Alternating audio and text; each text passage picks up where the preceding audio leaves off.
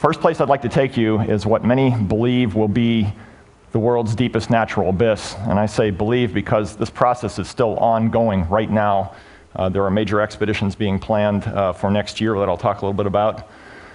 One of the things that's changed here in the last 150 years since Jules Verne had great science fiction concepts of what the underworld was like is that technology has enabled us to go to these places that were previously completely unknown and speculated about. We can now descend thousands of meters uh, into the earth with relative impunity. Along the way, we've discovered fantastic abysses and chambers so large that you can see for hundreds of meters without a break in the line of sight. Um, when you go on a thing like this, we can usually be in the field for anywhere from two to four months uh, with a team of as small as 20 or 30 to as big as 150. Um, and a lot of people ask me, you know, what, what kind of people do you get for a project like this? And while our while our selection process is not as rigorous as NASA, it's nonetheless thorough. We're looking for competence, discipline, endurance, and strength. Um, in case you're wondering, this is our strength test. but we also value esprit de corps and the ability to diplomatically resolve interpersonal conflict while under great stress in remote locations we have already gone far beyond the limits of human endurance uh, from the entrance. This is nothing like a, a commercial cave. You're looking at uh, Camp 2 in, in, a place called J2, not K2, but J2. We're roughly uh, two days from the entrance at that point, and uh, it's kind of like a, a, high altitude mountaineering uh, trip in reverse, except that you're now running a string of these things down. The idea is to try to provide some measure of physical comfort while you're down there, otherwise, in damp, moist, cold conditions in utterly dark places. I should mention that everything you're seeing here, by the way, is artificially illuminated at great effort. Otherwise, it is completely dark in these places. The deeper you go, the more you run into a conflict with water. It's basically like a tree collecting water coming down. And eventually, you get to places where it is formidable and dangerous. And unfortunately, slides just don't do justice. So I've got a very brief uh, clip here that was taken in the uh, late 1980s. It's a descent into the Huautla Plateau in, in Mexico. Now, I have to tell you that the techniques being shown here are obsolete and dangerous. We would not do this today unless we were doing it for film. Along that same line, I have to tell you that with the spate of Hollywood movies that came out last year, we have never seen monsters underground, at least kind of to eat you. Um, if there is a monster underground, it is the crushing psychological remoteness that begins to hit every member of the team once you cross about three days inbound from the nearest entrance. Next year, I'll be leading an international team uh, to J2. We're going to be shooting from minus 2,600 meters. That's a little uh, over 8,600 feet down at uh, 30 kilometers from the entrance. The lead crews will be underground for pushing 30 days straight. I don't think there's been a mission like that in a long time. Eventually, if you keep going down in these things, probability says that you're going to run into a place like this. It's a place where there's a fold in the geologic stratum that collects water and fills to the roof. And uh, when you used to find these things, they would put a label on a map that said uh, terminal siphon. Now, I remember that term really well for two reasons. Uh, number one, it's the name of my rock band. And second is because the confrontation of these things forced me to become an inventor.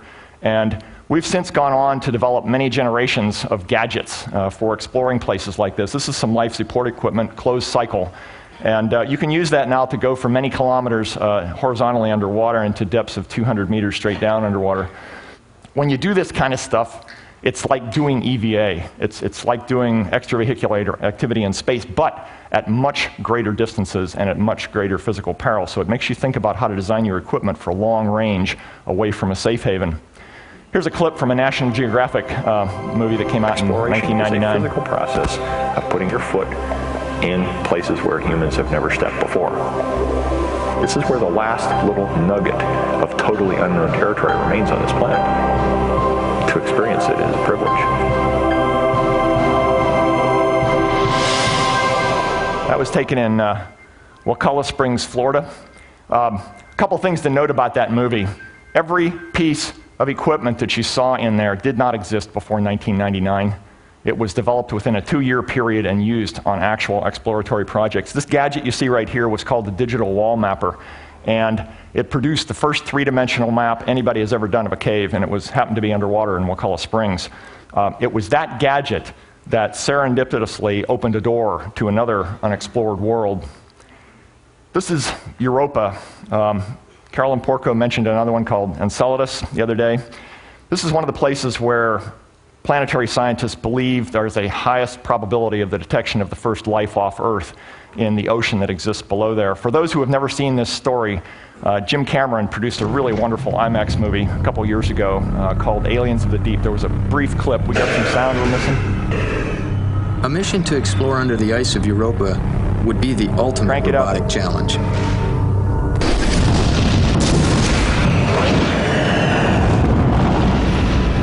Europa is so far away that even at the speed of light, it would take more than an hour for the command just to reach the vehicle. It has to be smart enough to avoid terrain hazards and to find a good landing site on the ice.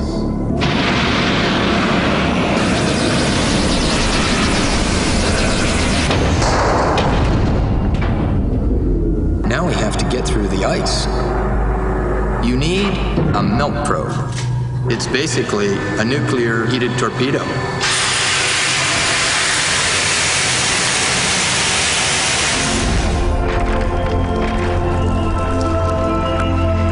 The ice could be anywhere from 3 to 16 miles deep.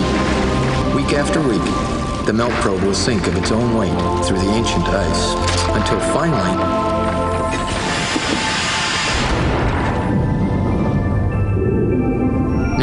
What are you going to do when you reach the surface of that ocean? You need an AUV, an autonomous underwater vehicle. It needs to be one smart puppy able to navigate and make decisions on its own in an alien ocean. What Jim didn't know when he released that movie was that six months earlier, NASA had funded a team I assembled to develop a prototype for the Europa AUV. I'm going to cut through Three years of engineering meetings, design, and system integration, and introduced DepthX, Deep Phreatic Thermal Explorer. And uh, as the movie says, this is one smart puppy. It's got 96 sensors, 36 onboard computers, 100,000 lines of behavioral autonomy code, packs more than 10 kilos of TNT and electrical onboard equivalent. This is the target site, the world's deepest hydrothermal spring at Cenote Zacatón in northern Mexico. It's been explored to a depth of 292 meters, and beyond that, nobody knows anything. This is part of DepthX's mission. There's two primary targets we're doing here. One is how do you do science autonomy underground? How do you take a robot and turn it into a field microbiologist? There's more stages involved here than I've got time to tell you about, but basically, we drive through the space we populate it with environmental variables, sulfide, halide, things like that. We calculate gradient surfaces and drive the bot over to a wall where there's a high probability of life. We move along the wall in what's called proximity operations, looking for changes in color. If we see something that looks interesting, we pull it into a microscope. If it passes the microscopic test, we go for a collection. We either draw in a liquid sample or we can actually take a solid core uh, from the wall no hands at the wheel. This is all behavioral autonomy here that's being conducted by the robot on its own. The real hat trick for this vehicle, though, is a disruptive new navigation system we've developed known as 3D SLAM for simultaneous localization and mapping. DepthX is an all seeing eyeball. Its sensor beams look both forward and backward at the same time, allowing it to do new exploration while it's still achieving geometric sensor lock on what it's gone through already. What I'm going to show you next is the first fully autonomous robotic exploration underground that's ever been done.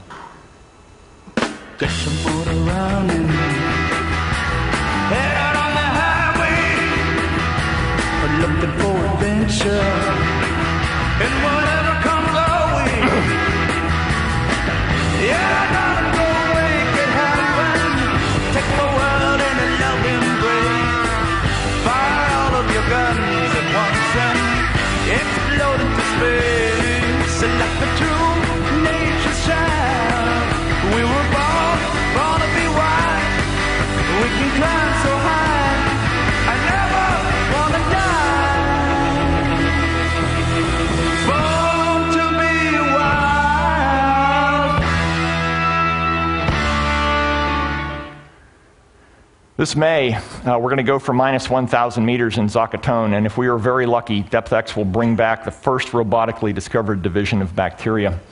The next step after that is to test it in Antarctica, and then if the funding continues and NASA has the resolution to go, we could potentially launch by 2016, and by 2019, we may have the first evidence of life off this planet. What then of manned space exploration? The government recently announced plans to return to the moon by 2024. The successful conclusion of that mission will result in the infrequent visitation of the moon by a small number of government scientists and pilots. It will leave us no further along in the general expansion of humanity into space than we were 50 years ago. Something fundamental has to change if we are to see common access to space in our lifetime. What I'm going to show you next are a couple of controversial ideas, and I hope you'll bear with me and, uh, and have some faith that there's credibility behind what we're going to say here. There are three underpinnings of working in space privately. One of them is the requirement for economical Earth to space transport. The Burt Rutans and the Richard Bransons of this world have got this in their sights, and I salute them. Go, go, go. The next thing we need are places to stay on orbit. Orbital hotels to start with, but workshops for the rest of us later on. The final missing piece, the real paradigm buster, is this a gas station on orbit. It's not going to look like that. if it existed, it would change all future spacecraft design and space mission planning. Now, to give you a chance to understand why there is power in that statement, I've got to give you the basics of Space 101. And the first thing is everything you do in space, you pay by the kilogram. Anybody drink one of these here this week? You'd pay $10,000 for that in orbit. That's more than you pay for it here for it at TED if, uh, if Google dropped their sponsorship. Um, the second is more than 90% of the weight of a vehicle is in propellant. Thus, every time you want to do anything in space, you are literally blowing away enormous sums of money every time you hit the accelerator. Not even the guys at Tesla can fight that physics. So, what if you could get your gas at a tenth the price? There's a place where you can. In fact, you can get it better. You can get it at 14 times lower if you can find propellant on the moon. There was a little known mission that was launched by the Pentagon 13 years ago now called Clementine. And the most amazing thing that came out of that mission was a strong hydrogen signature at Shackleton Crater on the south pole of the moon. That signal was so strong, it could only have been produced by 10 trillion tons of water buried in the sediment, collected over millions and billions of years by the impact of asteroids and comet material. If we're going to get that and make that gas station possible, we have to figure out ways to move large volumes of payload through space. We can't do that right now. The way you normally build a system right now is you have a tube stack that has to be launched from the ground and resist all kinds of aerodynamic forces. We have to beat that. We can do it because in space there are no aerodynamics.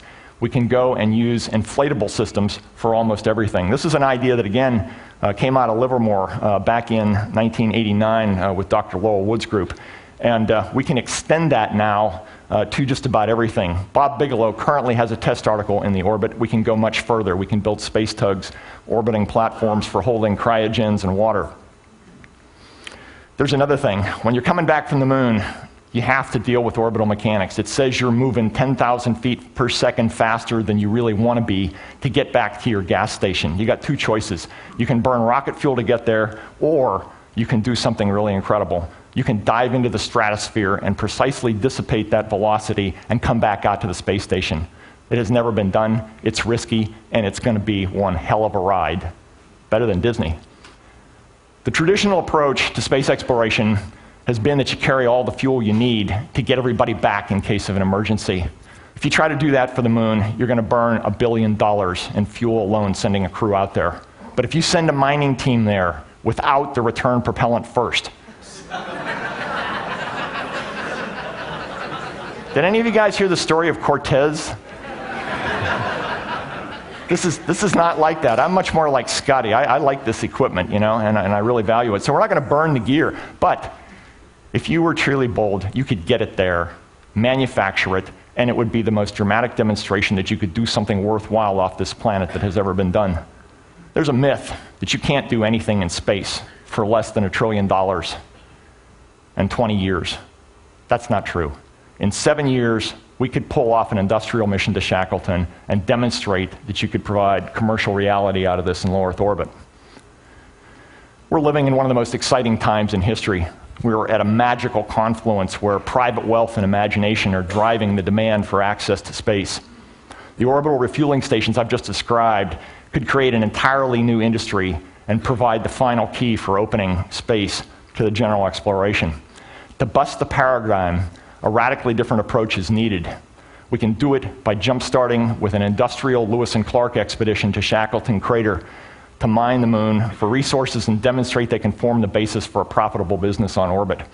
Talk about space always seems to be hung on ambiguities of purpose and timing. I would like to close here by putting a stake in the sand at TED.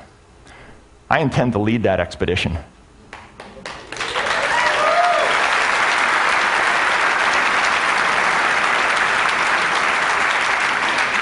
It can be done in seven years with the right backing.